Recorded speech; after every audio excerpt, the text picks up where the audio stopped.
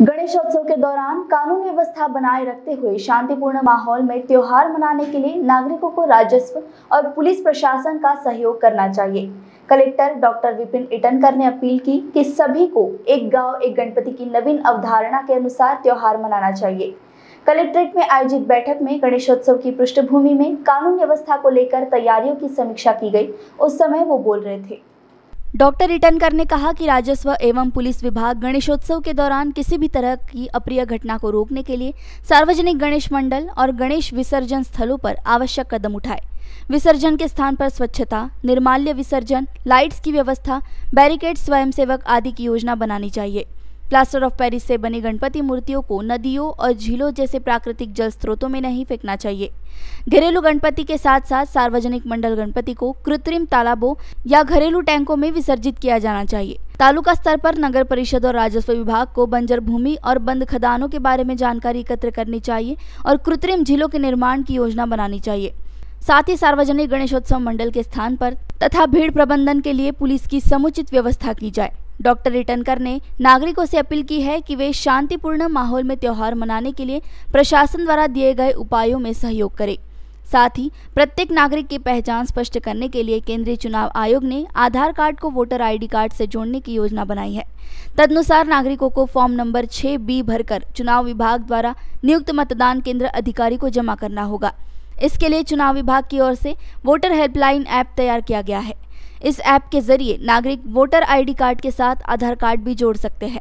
Collector doctor Vipin Itankar ने appeal की कि इस ऐप का उपयोग करना बहुत आसान है और नागरिक इसके माध्यम से आधार कार्ड जोड़े। सरकार की इस पहल में ज़िले के सभी सार्वजनिक गणेश मंडल भाग ले और गणपति दर्शन के लिए आने वाले भक्तों को लाभान्वित करें।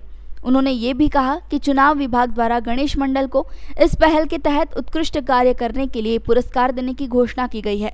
वीकेबी न्यूज के लिए कॅमेरा पर्सन रोशन बोकडे के साथ ऐश्वर्या शिंदे की रिपोर्ट।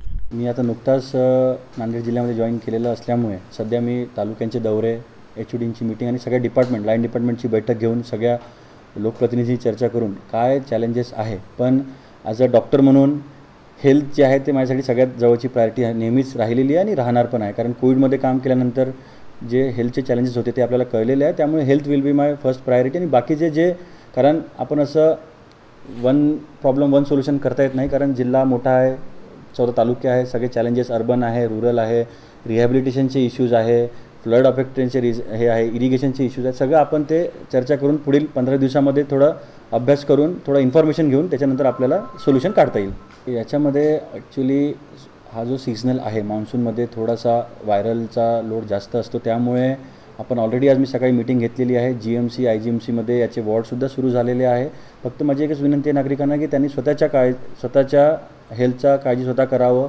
इम्युनिटी आपली स्ट्रॉंग ठेवावी आणि थोडंसंही तुम्हाला काही थोडं तब्येत अंगावर अंगावर तो ताप काढायची गरज नाही. आपण जवळच्या हॉस्पिटलला जवळच्या क्लिनिकमध्ये जाऊन आपलं इन्व्हेस्टिगेशन आणि ट्रीटमेंट लवकरात लवकर जर घेतली तर कंट्रोलमध्ये येऊ शकतं. जनरली लोक जास्ती झाल्यावर हॉस्पिटलमध्ये जातात. त्यामुळे माझी विनंती आहे की आणि सिम्टममध्ये खोकला, सर्दी आल्याबरोबर आपण ट्रीटमेंट सुरू करावी.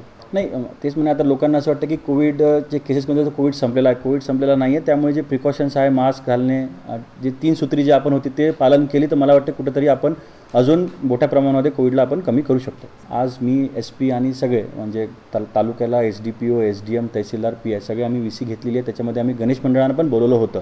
आता आपला जो विषय आहे स्पेसिफिक हा कॉर्पोरेशनच्या निगडीत आहे की कॉर्पोरेशनमधले जे मोठे मोठे गणपती ते कुठे विसर्जन करणार?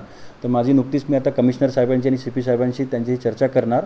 आणि जिथं कोऑर्डिनेशनची गरज असेल कॉर्पोरेशन आणि कलेक्टर कॉर्पोरेशनवर सी पी त्यांची तिथं आम्ही कोऑर्डिनेशन करून त्याचं काहीतरी सोल्युशन निघणार. मी काल जेव्हा सावनेरला गेलो मी दोन तीन स्पॉट बघून आलो आणि तिथं ह्युमन इंटरव्हेन्शनच्या बिना कसं आपल्याला चेकपोस्ट लावता येईल काय आपल्याला भरारी पथकं बनवता येईल का ते ऑलरेडी आमचे लोक करत आहे पण त्याला कुठंतरी कुठं फिक्स पॉईंट म्हणजे रेती चोरून आणल्यावर सुद्धा शहरामध्ये कुठं येतो तो चोक पॉईंट आपल्याला कुठेतरी आयडेंटिफाय करून तिथं फिक्स पॉईंट लावून तिथं बंदूकधारी आपले पोलीस अधिकारी पोलीस कर्मचारी ठेवता येईल का त्याचं मी काल जेव्हा सावनेरला गेलो दोन तीन तालुक्यात मी जाऊन आलो. ते चर्चा करून येत्या हप्त्या दीड हप्त्यामध्ये आपण काहीतरी सोल्युशन त्याला कंट्रोल कंट्रोल आपल्याला कुठेतरी त्याच्यावर आणावं लागणार आहे. कारण आता पाणी असल्यामुळे रेती एक्सपोज झालेली नाही आहे आता जसं पावसाळा कमी होईल पाणी खाली जाईल तेव्हा ही रेती एक्सपोज होईल. चोरीचं प्रमाण वाढू शकते आणि लोक ॲक्टिव्ह होऊ शकते त्यामुळे आपण कुठेतरी फिक्स पॉईंट्स लावून आणि ती स्ट्रॅटेजी आम्ही कुठेतरी चॉकआउट करणार आहे. तेच म्हटलं ना मी मी आणि एस पी कंबाईन मी कालच एस पीसोबत आज मीटिंगमध्ये घेतलं त्यांच्याशी मी फोनवरही कनेक्टमध्ये आहो आणि काल आम्ही चर्चासुद्धा केलेली आहे. It will be combined action जर ॲक्शन होईल तर जर चूक केली तर कुणाला पण स्पेअर करायला जाणार नाही. मग ते महसूलचे राहो की पोलीसचे राहो की ग्रामीण भागातले जिल्हा परिषदेचे कर्मचारी राहो. त्यामुळे it will be combined action and combined strategy boss ने मीटिंग बुलाई। बाहर बाहर उठो बैठो। तकलीफ़ उठने बैठने की नहीं तकलीफ़ बवासीर की है। बवासीर फिशर भगंदर पाइलोनियल साइंस का आयुर्वेद तथा आधुनिक लेजर से उपचार कॉल और विज़िट करें। www.pilesfistulacure.com